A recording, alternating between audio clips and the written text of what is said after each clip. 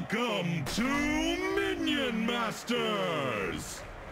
Let's go! I just love